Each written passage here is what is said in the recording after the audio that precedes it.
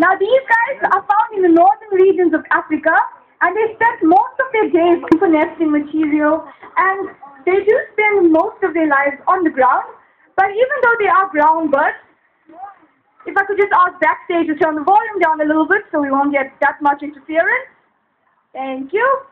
Yeah, even